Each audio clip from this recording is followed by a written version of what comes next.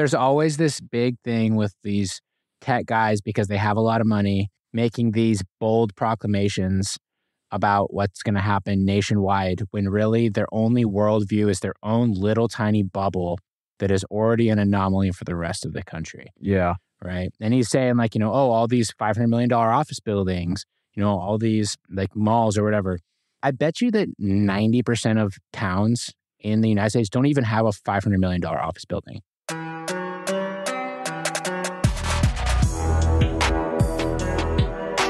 All right, guys, welcome to this episode of the Collecting Keys Real Estate Investing Podcast. This is Wednesday, the Mike and Dan show, where I, Mike DeHaan, and my co host here, Dan Austin, talk about real estate, investing, business, and everything Ew. in between.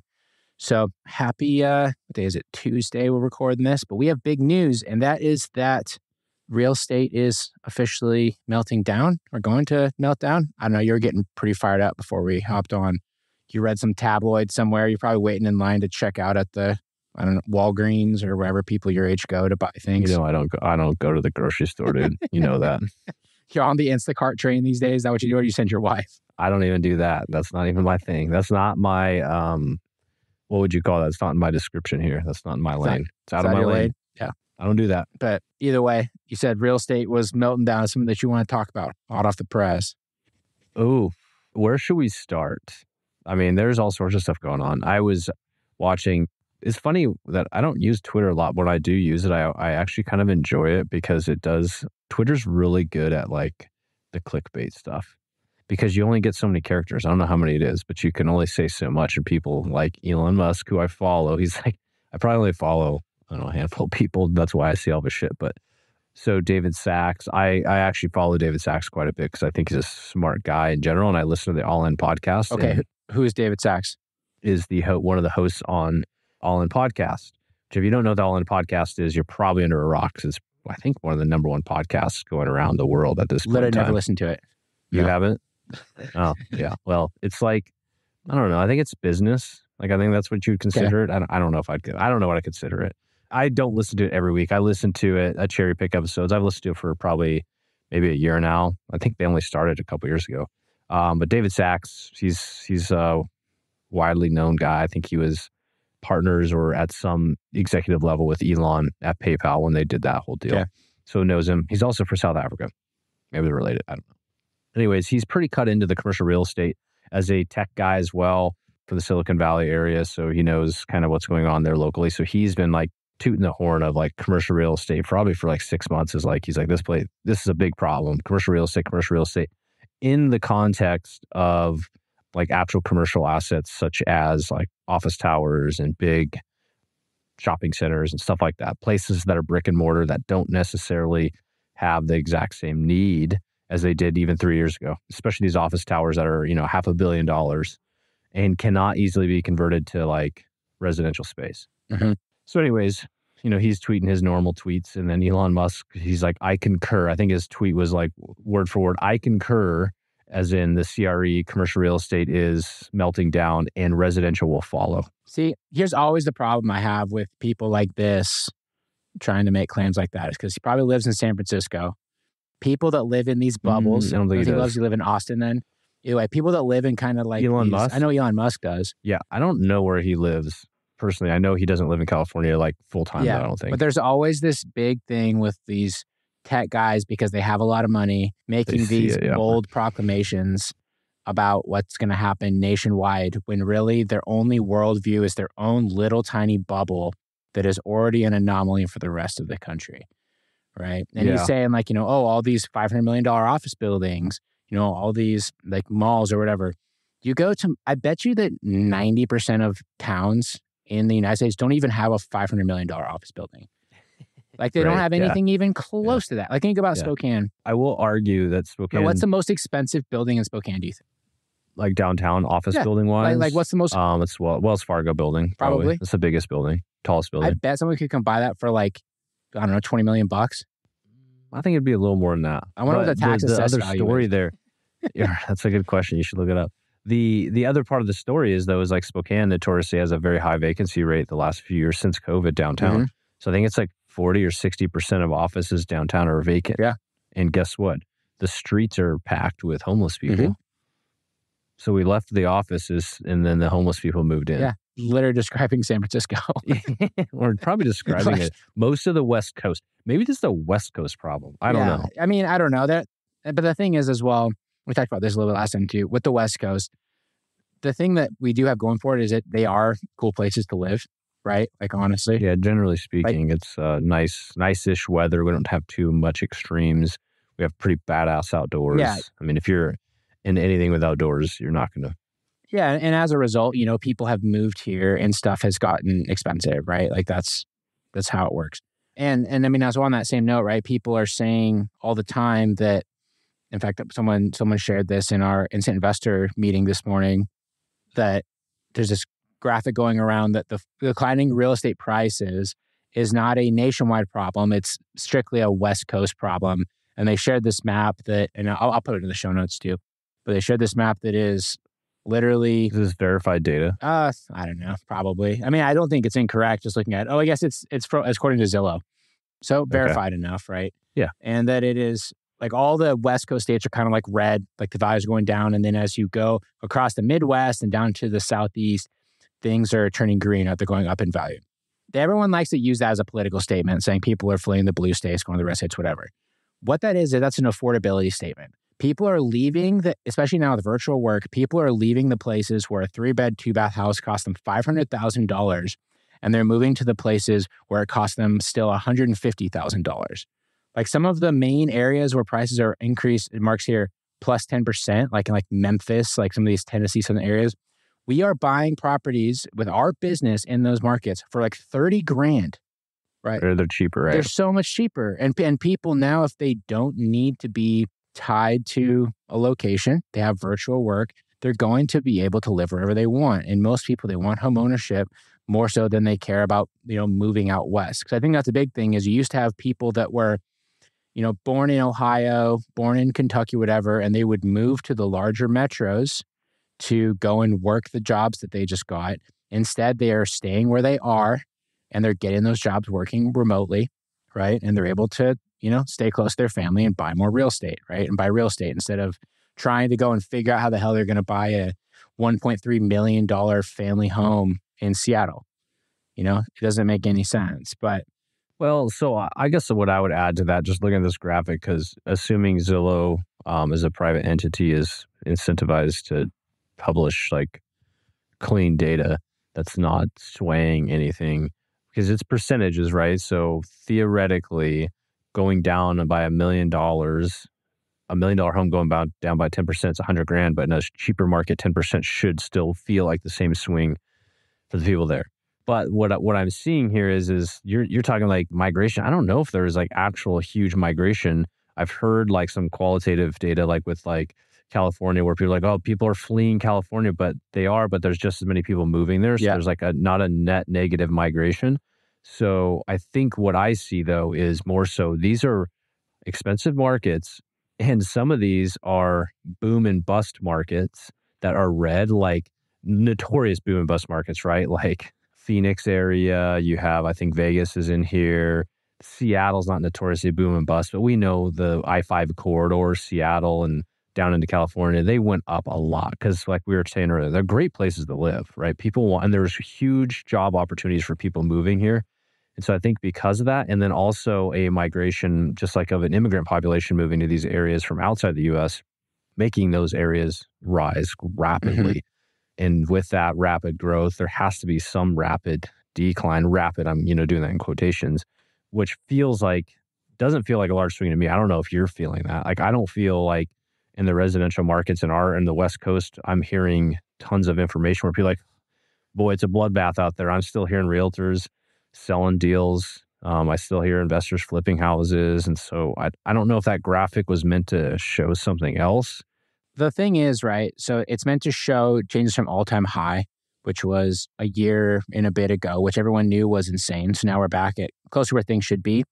And also, too, I don't think people like to use that politically as showing people moving away, right? As if, you know, the, the property values are directly tied to people leaving the area, which is not true at all. I think it is more so that there is no migration to those areas like there used to be.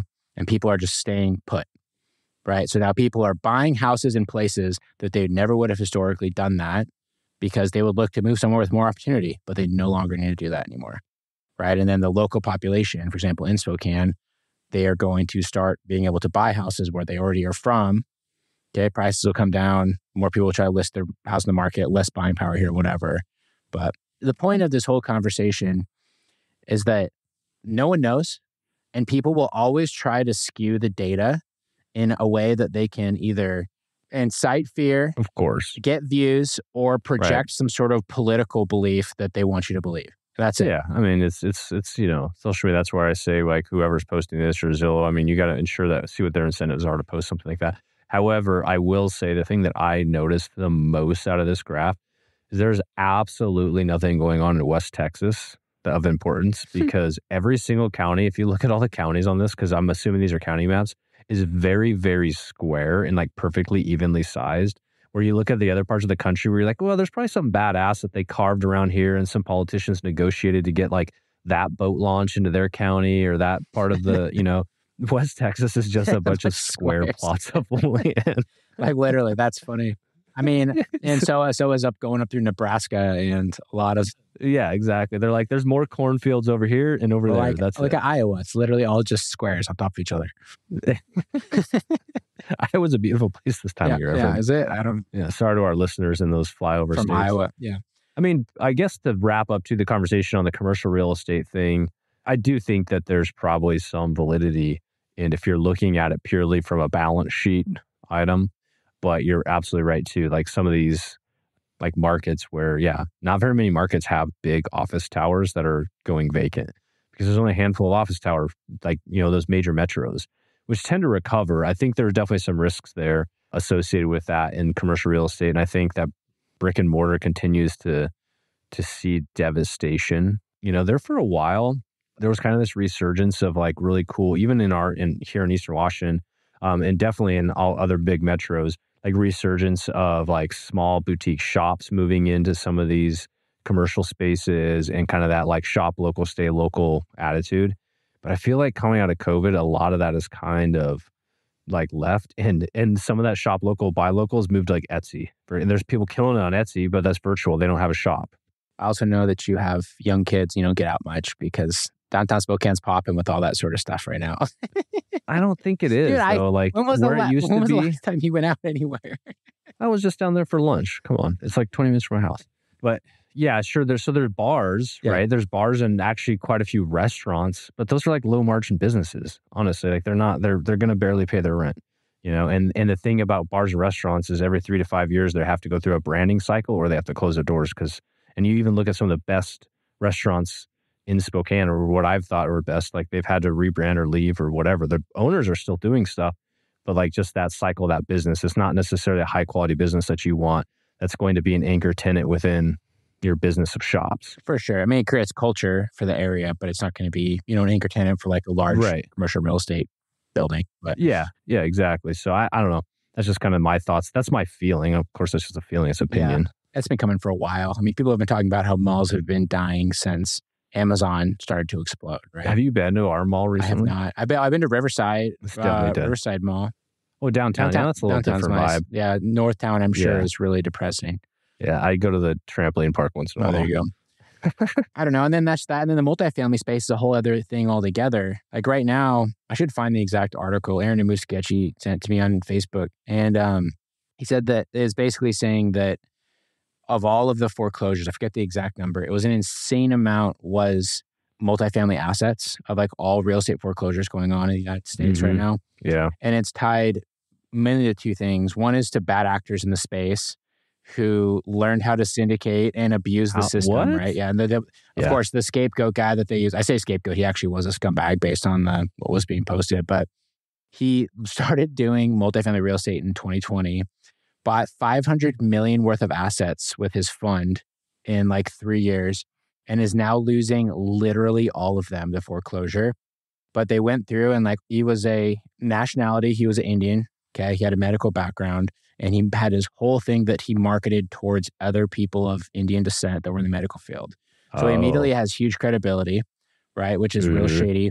and how we went through like his documents and he had it written in where he received between 4 to 6% of all of the money raised as basically his like fee. So he made like stupid money, right? Doing all this. Jesus. Had no intention of ever doing anything with the properties. Literally some of them he bought and never even made the first loan payment. So he just he was just raising capital to get that money Yeah. out, extort. Yeah, at least he bought assets. well, I mean, you have to be able to show it, and Yeah. then he just would collapse the whole thing. So that was that was kind of like the extreme example. But going further into the article, they're talking about how the huge number of people that were buying um, those kind of assets in 2020 and 2021 with revolving interest rates, and a lot of them were like three years, right? And so all the 2020 people, they're coming up right now, and their interest rates Yep. that were at three percent are going to be coming in at seven, and they're going to be Yep. changing every single year after that. If they can't sustain that additional cost, they're going to be in big trouble, and they're going to be a bunch more that come in 2024, more in 2025, and then from there it should start to catch up again because people will have been acquiring things at those higher rates already at this. Yeah, but it's going to cause huge issues with that asset class. And this goes back to an episode a while, I don't know, three or four weeks ago, maybe longer than that, where I'm like, I do not understand the exit for these multifamily people. Where is your buyer? Yeah. You don't have a buyer, Mhm. you know, and they're completely screwed. yeah, you're absolutely challenging. Yeah, it's completely challenging. You layer that on with, I mean, I know people that were syndicating this those last few years. I had no idea what they're doing. That are also bankrupt. Mm-hmm. You know, there's a lot of people out there that were all of a sudden syndicators, which is just this. I don't. I'm not going to share my opinion on that right now. I think everybody knows what that is.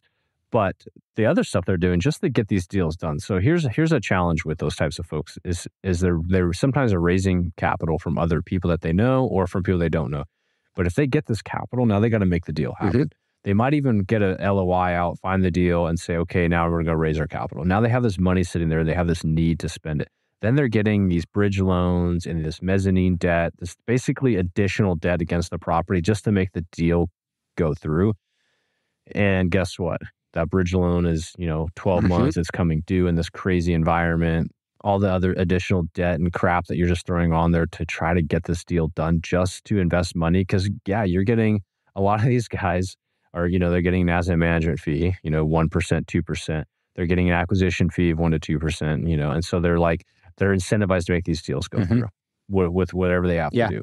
And at every turn, if they're like, well, we can just kind of tack on, we can slap on this additional little debt here to get us across this finish line here. Let's do it. Let's make it happen. And the investors are no wiser. They don't Yeah. know because they're friends and family or they're trusted. They're like, yeah, like you said, you're you're from a very niche group like doctors. Um, notoriously, there's a lot of uh, doctors out there that end up creating syndication funds, good and bad. I don't know any of them that are bad personally, but like that creates credibility within the medical community that hey, this is one of ours. Pilots, same Mhm. thing, because you'll see pilots out there that are become syndicators and they're automatically trusted within the pilot community. You have these communities of of like-minded people and same types of people that automatically give trust to a person because they passed a similar threshold of life, whether that's a degree or a certification or whatever. It's that shit Totally. happens. You see it everywhere. I mean, you've sat with GoBundance that we're both involved in, right? Like those are those are the easiest sales for people. It's like, oh, you're a GoBundance guy, yeah, sure. Let's you know, I'll just go past all the Yeah, part where I underwrite trust. you. Yeah. um, and as a result, there's been bad actors in there in Yeah. the past, right? And I don't know, it, it's it's just really interesting to sort of see, and I think that that is the unspoken risk of those larger assets that when people don't know what they're doing and they're trying to jump into them, and they're trying to just like make a deal because, they, like you said, they need to because they've raised some money and they have like all this like pledged funds they need to figure out what to do with and these different Yeah. things. Ultimately, though, I think that it's just that's why it's so important to learn how to actually run analysis and to know how to actually hunt and find your own deals. Mm-hmm.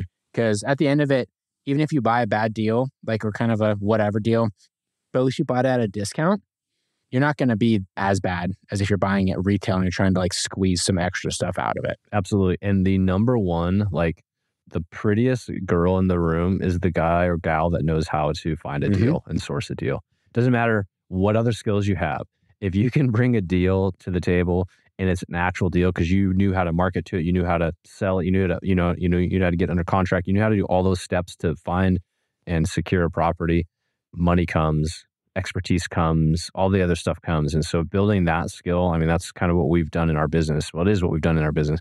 And that's like the number one skill I think you can have in this industry. finding good deals. Yeah, and for some reason, it's always the one that gets pushed by the by the wayside. You know, right. talk to so many people who have these large multifamily sort of ambitions, and they always start doing things like, oh, well, what if I start with like a property management company, so I know how to manage it when I Mhm. find that thing. Oh, what if I started a construction company, so I can save on the renovation costs when I ultimately find that multifamily property Yeah. I'm going to buy. It's like you're putting the car before the horse. Just find the multifamily Yeah. first and hire each of those out because I'll tell you what, none of that sounds interesting I to know, me. but, that, Uh, but that's what people do. owning a good asset sounds good, but Yeah. not all the other crap. Yeah, no, it's, it's it's interesting, and and also too, that's the greatest way to hedge against any sort of market shift. Is if you're if you're bought things at a discount, the market drops thirty percent, but you buy for thirty percent off. Cool, you're at zero. Yep. You know, and everyone else is underwater at that point, so you're you're doing pretty good. Right. Yeah, the the market as a whole, who knows? I think that just lear- focusing on the skill set. You know, my my thought is whenever there's kind of questions in the market or just around like the economy in general, so when it's so important just to focus on your own skills and your own knowledge base Right. as opposed to like trying to make big moves. I mean, how many people have we talked to of the last little bit that are have decided like I'm just trying to hold as much cash as I possibly can right now because I don't know. That is what wealthy people do. Yeah. Like, you know, they get away from this Dave Ramsey bullshit of like, I need to invest X amount every single month. Instead, it's like, or we could just like wait and see what happens because I have enough Yep. skill set and enough of like a long term vision that if I don't invest for an entire year, that's fine because at least I will have like saved that. And I'm not going to miss out because I am actively doing things to create more opportunity or to figure out how to create more opportunity. That's where like the real growth is going to come from, not just from like throwing things in the market blindly and doing dollar cost averaging, which is honestly kind of a farce that the stock market sales machine sells you. But Now they're incentivized, right? of course they are. Yeah. I think you got to look at what people are incentivized to do. You know, your advisor is incentivized to have more wealth under management mm-hmm. because they get a percentage of that. Uh, stockbrokers incentivized to broker stocks, right? So when the market's down, they still need money. Yeah. So you should invest yours buy, buy low, sell high. Yeah, exactly. But then, but then when you sell, maybe that's even the whole thing with uh, the Wolf of Wall Street, isn't it? They're like, oh, and then when you know they just bought Disney for what did they say? When he bought Disney for sixty, and I take you out for one ten, are you going to tell me that you don't want to go into HP for eighty five, so I can take you out again at one twenty? Like, there's like the whole sales pitch that they have with it Yeah, yeah, yeah. because yeah, they get yeah, like I mean I don't know if they still do like that in brokers anymore, but in that movie they get commissions based on the trades, right? So Yeah. like they're strongly incentivized to retrade you over and over again. I have no idea if that's still valid at all. I don't know how that space has changed, but I'm sure it's not the same as it was back then. Yeah, well, a lot of folks will catch you, like the wealth advisors and stuff that work for these big companies, because they do they do pitch like mutual funds that they get a fee Yeah. for selling that, and and so you just got to be careful with that stuff. I've bought in mutual funds from that's how I learned how it works from a wealth advisor, and I realized that I had to pay a fat fee up Yeah. front, and then the one that he pitched me was shit, and I didn't make any money for three years on it. Yeah. Yeah, I mean that that sucks. I mean, I, I, I will say the equivalent of that though that we have in the real estate space is wholesalers and realtors, right? Like the equivalent to yeah, Totally, right? Like if you are looking to buy a property, even if you're using a realtor on the MLS, Dude, you can make so much money on this one. It's 20K. How many times have people been like, dude, it's only a 20K rehab? And I'm looking and I'm like, bro, I think it's like a 60K like rehab. all the time. And then and realtors will post that on like the Facebook groups, like, Yeah. oh, twenty thousand dollar Just move this wall. I'm like, the house doesn't even have electrical. What are you talking about? Twenty thousand dollar rehab. yeah, where's the foundation? Yeah, exactly. Just dumb stuff. But I mean, even if it's someone that you're directly working with, this will happen is, you know, the realtor has a conversation on the back end with the other realtor and the selling agent is like, hey, look, they just like really want to get this done. And your buyer's agent comes back and goes, okay, so how about if, you know, we negotiate with them this way? You just like let the roof go. Like I have a roofing guy I'll connect you with. He's really competitive. Like he will make sure that it gets done because he's not getting paid either. Yeah. Like sure, he it can be your best friend, it can be your hairdresser, it can be Yeah. your cousins, neighbors, whatever. I don't know, whoever people get their realtors from. Yeah. But they're not getting paid until you close the deal. So they just want you to get it done. Anybody that gets paid on a transaction, you should know that they're incentivized to make that transaction yeah, happen. absolutely. You know, even like, even this is funny. So, like, we're selling one of our buildings. We actually have a commercial broker on it. And I love how every time I get the chirp in from like the senior broker, like, great clean offer, good job. This is a good one. It's like, I'll be the determiner. I'll determine that. Like, this is a great, it's like, no, you don't need to coaching me up. Like I'm going to look at it for what it is. Yeah. Like I'm, I know what I'm doing here, and it's like he should know that. Come on, like quit trying to sell me on this transaction. Yeah, and so, basically, yeah, what happens is we yeah, we got an offer today, and they sent it over, and we're working with the agent, and the, it's the designated broker that always immediately comments and like tries to give it like a good praise. But he's now done this like eight times as he reviews eight offers, and like you didn't even look at it because his last offer was shit. Yeah. and then I'll respond back. I'm like, like the one. Remember the one we got from the Pace Morby door, Yeah. whatever that was. The the whole like I couldn't even understand the offer. Like we three of us sat there and read it. I could not figure it out. And uh, I just said, "Hey, I can't understand this offer, so that means I'm I'm out." She finally responded. She's like, "Yeah, I thought it was kind of complicated." I'm like, "Then why didn't you say I that?" what? You don't just like think that like, well, maybe he'll say yes, and I'll make you know whatever amount of money. That's it. The real estate game works, right? And that's why. And that's why. That's why they get flagged. That's also why if you find good ones, they're worth their weight in gold Hundred percent. because they're hard to find. There's very few of them. you know and i do think that that'll kind of change around in the real estate space as more and more i don't say like amateurs but like small time investors are becoming more educated on the real estate process in general because like a lot of those people especially when it comes to sort of commercial assets like this the brokers are used to all of their clients just being like old guys that bought the properties in like the 80s and they're like i don't know what this shit means like should i accept this sure and they're just like yes because i want to make my you know $18000 commission Oh yeah, from the investor standpoint, yeah, from or from the investor perspective, perspective, yeah. Because I was going to say, there's still surprisingly a lot of people out there that don't know how to even look at a piece of property Totally. from a personal ownership standpoint. oh for sure right yeah but i mean it was definitely more than it was 10 years ago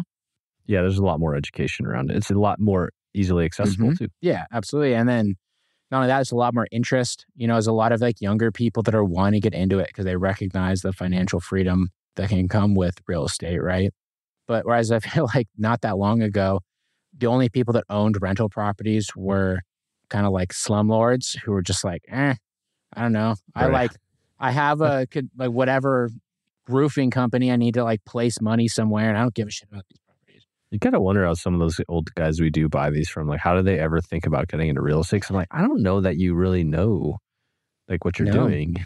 Actually, I know you don't know what you're doing. Like, why are you owning properties? this is something I have always thought about, especially when we meet some of these old dudes and we're like, you know, we're buying their properties from them at this point because they're heavily distressed. I'm just like, how did you buy this in the first place? Like, you- Yeah. you, don't know how to do an email. You Yeah. can't do a Yeah, I DocuSign. It's like, No e-sign. yeah, it's like, and I'm meeting you at the bar at 11 a.m. on Tuesday to sign the document. Yeah. Like, like, how did you buy this? And you, yeah, you got and you own how many? 18 of them? Are you serious? Like, it's like, what is that? I don't know. I've never Yeah. figured it out.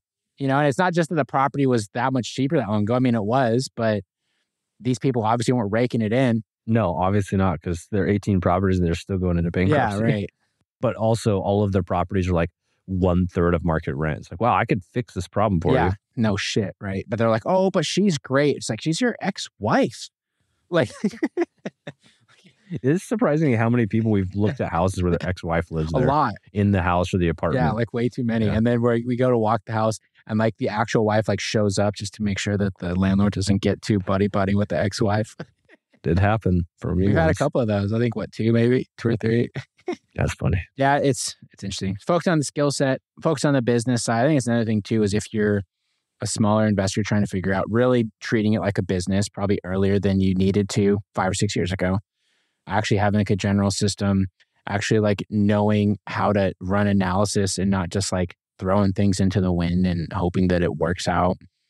Like those times are gone. Unfortunately, they're not Yeah, it's just a lot more uh, formalized, a lot more professionalized out there. Yeah. Got to step up if you're going to be in the Yeah. game. So there's nothing wrong with that. No. I would also say it's also easier to get into the game than it used to be because there's so many services out there. I mean, if you want to market right, you can find you can find people that can run SMS for you or direct mail. Hell, you can, you know, work with us and we'll like do the whole system for you, right?